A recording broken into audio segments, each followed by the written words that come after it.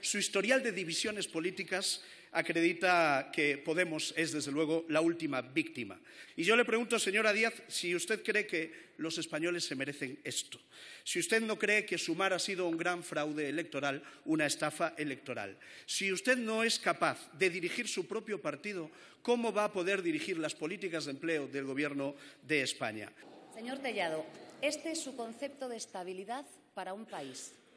La bronca, el insulto y el ruido. Sí. Para eso, para eso está usted aquí y por eso hoy es el portavoz del Partido Popular. Con todo le voy a respetar, señor Tellado, y le voy, y le voy a responder a su pregunta. Le voy a hablar de la estabilidad, de esa que no practicaban ustedes cuando gobernaban España.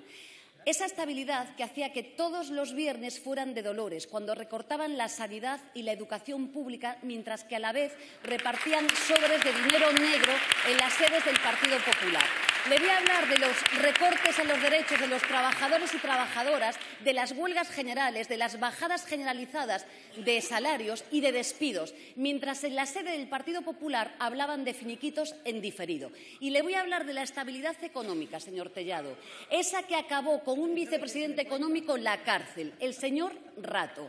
Señoría, le voy a decir algo también. Vamos a garantizar la estabilidad de nuestro país. Y a usted, señor Tellado, también le voy a dar datos. Fíjese, señor Tellado, 15 millones de asalariados indefinidos en España que hoy tienen estabilidad, 10 millones de pensionistas que tienen revalorizadas sus pensiones, que pueden vivir con dignidad, con el IPC, señor Tellado. Tenemos 10 millones de mujeres ocupadas que hoy conocen lo que es la igualdad.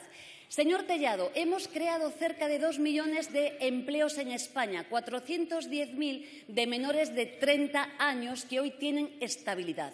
Fíjese, señor Tellado, que esto le va a encantar. Hemos dado estabilidad subiendo el salario mínimo un 47% y hoy, señor Tellado, hay 700.000 familias en España que perciben el ingreso mínimo vital. Por tanto, señor Tellado, sí, a pesar de ustedes, el Gobierno de España va a seguir garantizando la estabilidad, la confianza, la seguridad a las familias españolas. Y, mientras tanto, señorías del Partido Popular, ustedes permanecerán en la oposición. 没。